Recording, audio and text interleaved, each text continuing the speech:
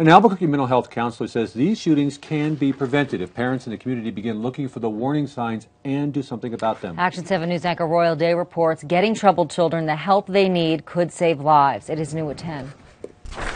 When is violence the answer? Licensed mental health counselor Roxanne Pratt says there's no formula, but she does know preventing mass shootings begins with something simple. It doesn't have to necessarily look violent, but something that's out of the ordinary. If a young person becomes depressed, angry, and stops spending time with others, talk about it now. That's when the parent wants to say, hey, you know, what's going on? If you can't help, get help. If they feel like they really don't know what's going on, or they really don't know how to help them, or they really can't, then they really need to seek some kind of professional help. Officials say 15 year old Nehemiah Griego had a fascination with video games.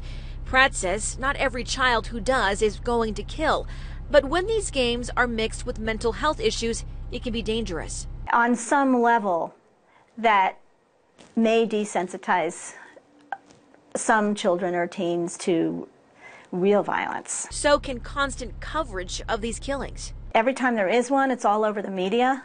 So it kind of glorifies it. Pratt believes we don't have to get to the point of a family dead or a school of kids gone.